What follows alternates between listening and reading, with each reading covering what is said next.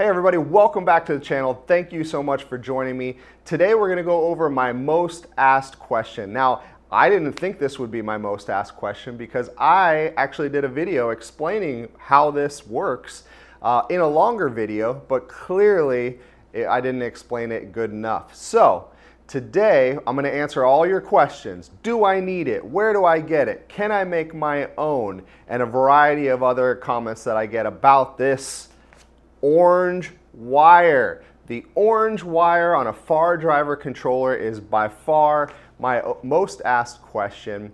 And today we're gonna go over that on Tackle That.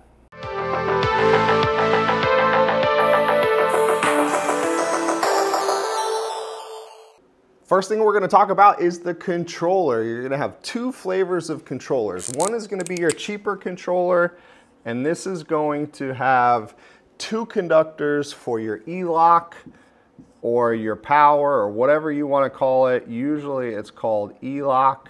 It's for electric lock. And these two conductors just need to be connected to each other through a switch.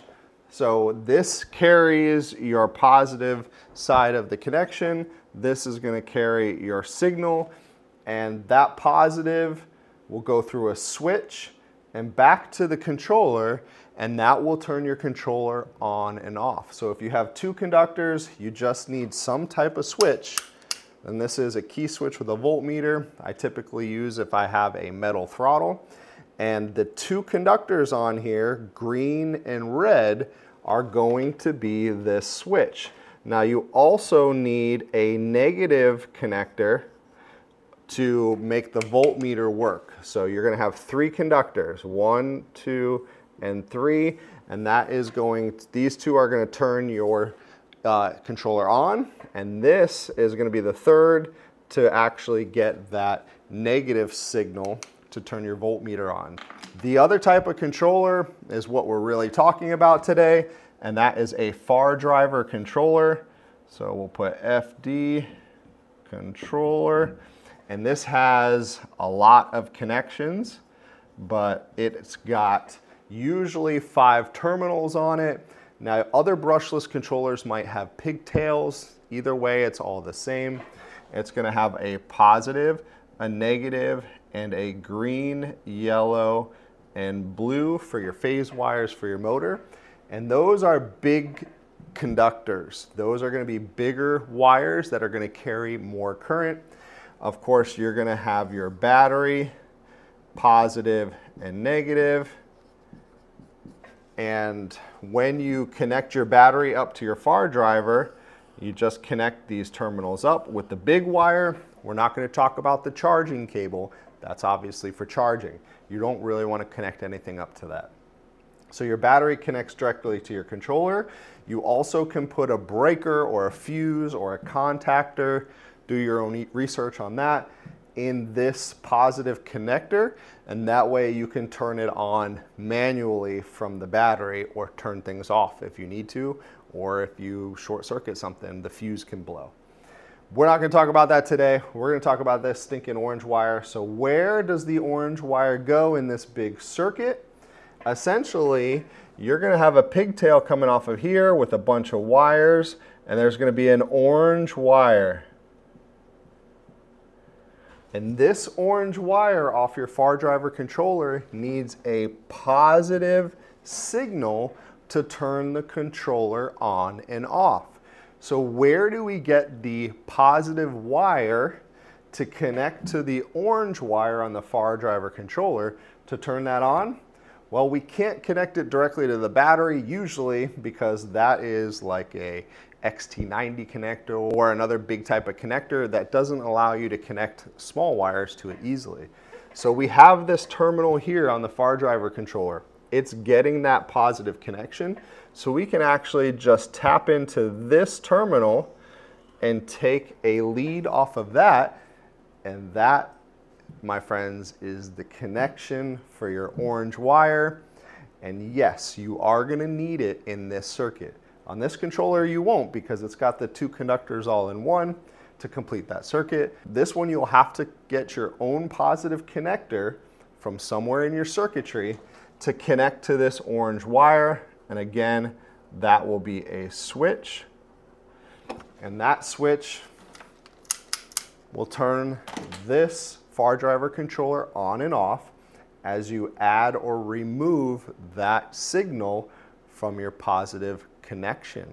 Now what that actually looks like in real life, let's take for example this voltmeter. It's gonna also need a negative connection so that you have these three conductors. You're gonna have your two for your switch and one for your negative connector, and that is going to give you your uh, voltage, and you also have your key switch. So that's your three connections on your key switch. Now it could be a little bit more complicated and you also have a throttle it doesn't matter, it's all the same. This component here is gonna be these three conductors, but you also will have the throttle part and the throttle will have three connections as well. That's gonna be a negative, a plus five, and your signal wire. So that is how you're gonna get the potentiometer of your throttle, information to your controller, is through those wires. Now, since the negative is common, you'll only actually have five wires on here, even though I show six up there, because this one and this one are common. You don't need that redundancy. So that's your five connections for your throttle with your key switch with your voltmeter. This one is your connections for something like this.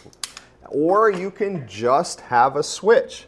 So if you want to put a little thumb switch, like you know the gas engines, the on and off switch, you would just wire that switch right here, and that could be that little, like it's on and off looking switch, and that would just wire up to, let me remove these, Eric. And this is just a switch that actually just makes this connection. It could be any switch you want. It could be a light switch from your house. It doesn't matter. All a switch does is completes a circuit. Takes the signal from one side, transfers it to the other when it's turned on, and it completes that circuit. Just touches those two wires together. And then of course, if you're like me and you have a nice metal throttle, you're still gonna need those three conductors coming off of their metal throttle back to your far driver controller. So that's the different ways you can wire that up. On the whiteboard, let's actually dive in and look at it real world. Big reveal, let's open up this package. I actually got this from hotpaxx.com. So if you want a plug and play way of connecting up this orange wire, just order one from Hotpaxx and they will be happy to send you one. I think it was under $10. Here's what it looks like. The infamous orange wire, and it's just a simple one conductor connection. It connects, remember what we talked about, it's gonna connect from your controller terminal with this guy over to your input on your switch. And this has a spade connector on it. Let's get our controller out here. This is the Far Driver ND72280 or the 260, and those are 80 amp um, controllers, which are really nice. They pair up well with these Vevor motors. So these about two or 3,000 watt motors, you can actually push them harder. I actually love getting a heat sink for it to watch your temperatures. But for a budget build, this is a great setup. So here's your three phase wires for your motor that I was talking about. These are your Hall sensors. That's gonna connect all up here. And so let's do that real quick. You might need this adapter for your Hall sensors. Hotpaxx also has these. So when it comes to our connections, we have our Bluetooth adapter, and then you're gonna find this orange wire. There it is. So here we have our battery. This is our pigtail. The pigtail should come with it. If not, you can just see what kind of connection you have and you can order these on Amazon. So truth be told, this actually is a red wire from Hotpaxx. You can use any color you want, it does not matter. But they're showing you that a red wire, when we connect it to that positive terminal, this is gonna carry a positive signal. So it's nice that it's red. All we have to do is connect that up to the orange wire on your controller. And when we do that and connect this up here, we are gonna turn the controller on. Because remember on the whiteboard, we said we're carrying the positive circuit over to this orange wire, and that's gonna turn this controller on. Problem is we have no switch here. So we need to put a switch in the middle of this circuit. And if you get a pre-wired throttle from Hotpaxx or other uh, people that sell razor parts, this should be all wired up for you. But we're, what we're gonna actually do is we're gonna cut this wire and I'm gonna put these 2.8 millimeter connectors on there and that's what I'm gonna use to complete this circuit. And I'm also gonna put 2.8 millimeter wires on here. Because as you can see, that's got these other uh, type of connectors that I do not use. So we'll cut that off.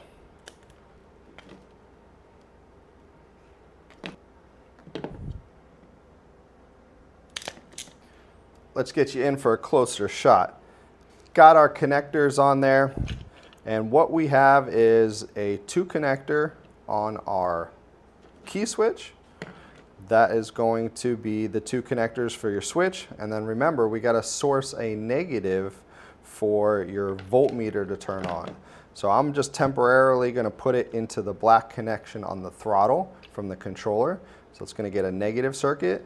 But again, you can go from your negative circuit on your battery post here, it doesn't matter. It just needs a positive and a negative to turn that voltmeter on here.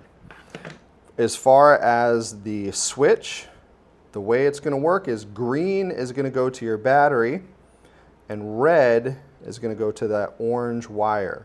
Now that's not always the case, but that is the case on this voltmeter here.